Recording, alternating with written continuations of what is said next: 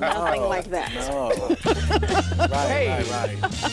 This week, we celebrated National Microwave Oven Day. So today, we kind of decided to talk about this one thing that we all use so much now. I don't know what our lives would be like without microwave ovens. Let's find out five things about microwave ovens, and I'm sure a couple things you probably did not know. Here we go. First thing, how did it start?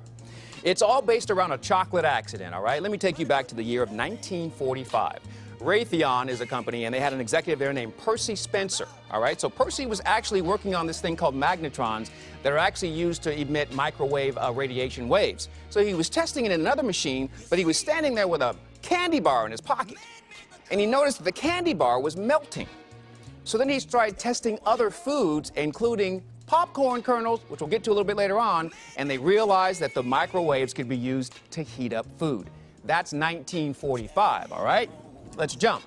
Let's go now to 1964. So 1964, the folks over there at Raytheon, they purchased Amana of refrigeration, all right, and they start to figure out how can we make this thing for other people. So they came up with this concept. All right, and by the time they got to 1967, they actually had an, uh, uh, an appliance that was approved for homes, 100 watts or 100 volts, excuse me, and it was $500 for the microwave to come home to you in 1967.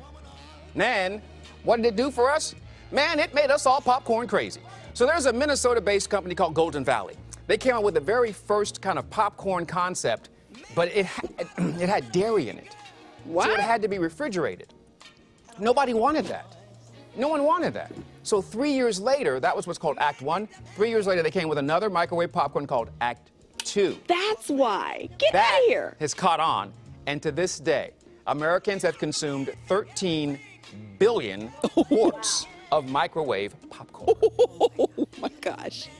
Now you've heard you can use it for other things, right? I do it all the Yes. time. Did I you do know? this. And if you don't know, here's your news. It can clean a sponge. Back in 2006, they did a study and they put that sponge in the microwave for two minutes and found that it killed 99% of the bacteria, including foodborne illness, illnesses like E. coli. Wow. All killed. You put that uh, sponge in the microwave for about two minutes, and all those germs are gone. And the last thing I want to tell you about the microwave.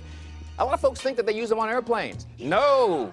If you don't like your meal on the airplane, it has nothing to do with a microwave oven. They are not allowed to use microwave ovens above 36,000 feet. So what they're using is like a convection oven that's blowing hot air over your food, oh. and that's what's warming up your food on the plane. They're not allowed to use a microwave oven, so don't yell at them for using a microwave on a plane. They'll yell at you and say you don't know what you're talking about. Those are five things about microwave ovens that I found to be very interesting. In fact, there are more tidbits you'll love. Go to gooddaysacramento.com. Click on show info for today's date. And man up for knowing exactly how your food is being warmed up. Good day continues after this.